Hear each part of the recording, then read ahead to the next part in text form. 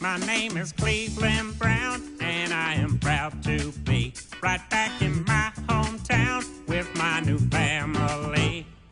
There's old friends and new friends, and even a band. Through good times and bad times, it's true love we share. And so I found a place where everyone will know my happy mustache face. This is the Cleveland Show.